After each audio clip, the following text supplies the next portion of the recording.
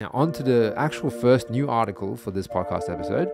And it is all about something that's quite a my supposed wheelhouse supposed outbreak in a Marburg virus in Equatorial Guinea. When people hear about Marburg virus, that might not ring any bells, but you will hear virus these days and you would go, What's going on? There's a new outbreak. Everyone's fearing what's going to be the next big thing that puts the whole world into shutdown.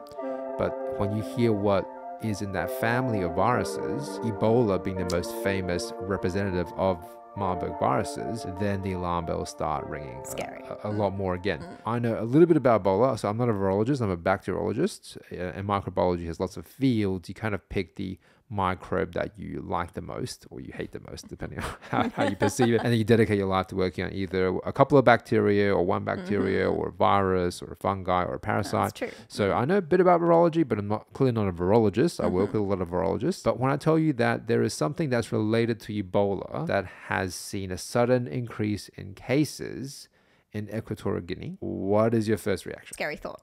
Scary Always thought. scary thought. Yeah. And so Ebola was a little while ago. I think Mm-hmm. it was in the mid 2010s. I think it was like in the 2014 to 2016 2016. Something like that. period. And there was not that many cases, but that was viewed as a pandemic, I think. That was viewed as a, a pandemic as well because it wasn't just restricted to the countries where it originated from. It was Uh, spreading. it was yeah, spreading, yeah. outside the initial site. I do you remember this news story of like the, I think it was the doctor who went to treat Ebola and Mm-hmm. then he came back to America and then he was like running all around and he was jogging and he didn't know he was positive for Ebola and they had all this like footage of him like going from place to place. It was a big. Do you, do you remember the I story? don't remember this. Yeah, Like, so I- yeah. yeah. so I think very bravely went to the front mm-hmm. lines to Right. treat Ebola. And for those of you that don't know, Ebola basically gives you a hemorrhagic fever with pretty high mortality rate. Horrible way to die. Yeah, and you pretty much you're bleeding out every orifice, Mm-hmm. and this is not necessarily Ebola. It's a Marburg virus, and Mm-hmm. it's probably related quite closely to Ebola. For healthcare workers, what a huge risk to take on. Absolutely. Absolutely. I might argue, and this argument is flawed because Mm-hmm. the amount of danger you're in for any disease is relative. But I think at least with COVID, the perceived level of danger was lower than Ebola at that time, I think, right? But yeah, I feel like that too. Probably because COVID gives people the idea of a common cold when you first hear about it. That's right. Whereas But- Ebola, you immediately think Oh, I'm. Mm. I'm going to bleed out of orifice and there's no treatment. I'm going to Mm-hmm. die. So it was really scary at that time. And there was a sudden spike of cases, and it took ages to settle, and people were moving across country. But it never truly escalated to the point where there was global shutdown. I never That's truly right. escalated. That's right. How should the average person respond to this kind of headline now? They hear heard about another virus. It is related to a very scary virus they know about. Mm-hmm. Uh, it could spread to other countries. What should any person reading this kind of headline kind of respond to this with? Is my question. We don't know yet. Mm. I think we have to wait and see. Yeah. Potentially very scary, but we, we don't know. At least 16 suspected cases and nine deaths have been reported. Hopefully this doesn't escalate, but something to something to watch, I think. we have to understand how the news filters the articles that are interesting. Any any new virus is going to be of interest right mm-hmm. now. Mm-hmm. And previous to the global pandemic, the interest in infectious diseases, I can tell you from a personal level, just was nowhere near as high. I wasn't having as many students in my classes. I didn't have as many conversations with the media about anything to do with infectious disease. We were always here as microbiologists thinking this is important and interesting, but people just didn't really care about it. The media will be a reflection of what people's general interests are. They won't report on something unless they think there's going to be some That's right. attention paid to it. Mm-hmm. So now people's alarm bells are always kind of up. Their antenna are up t- for this kind of that's article. right. So anytime you see a new virus, it may be this Marburg related virus or any other new disease that is seen a sudden spike, Mm-hmm. people will think this is newsworthy and report on it. Not overreacting or having an appropriate level of caution is totally fine. That's right. And as a microbiologist, I always tell my students the means of transmission, how disease is spread, is the only way that we will know how to stop the infection from spreading. So until you. Mm-hmm. know how it's transmitted, you won't know how to stop it.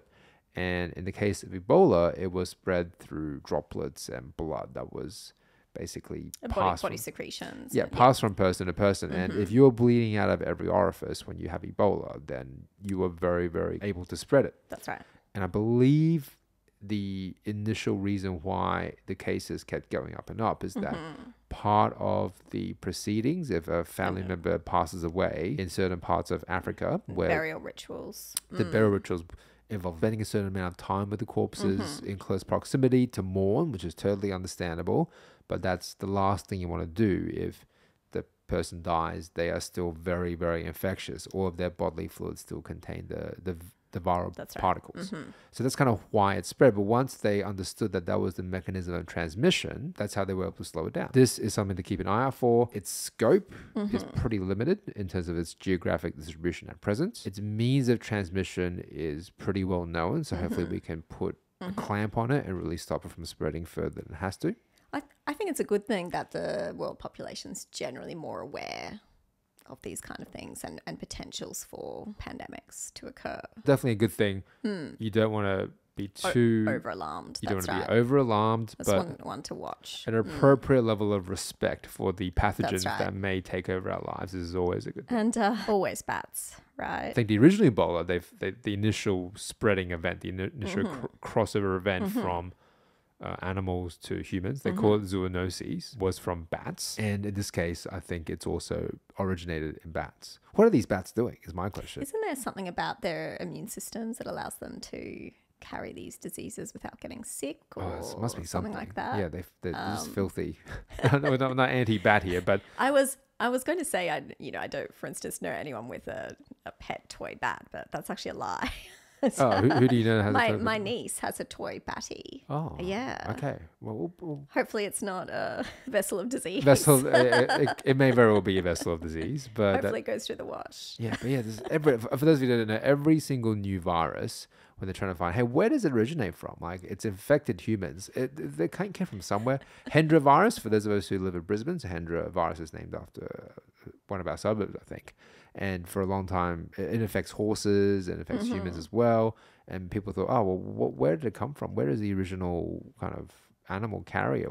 Is it just out in the wild? Or, or it turns out it's bats. And then they just kept looking. That was a mistake. They kept looking and they, well, they kept finding new viruses. Oh, what's going on? Every single time is bats. Every single time a new virus comes. Always the bats. We Poor find it- bats. We find it in bats. So the main takeaway when you see articles surrounding new pathogens that are emerging is that even if there are drugs and vaccines against them, mm-hmm.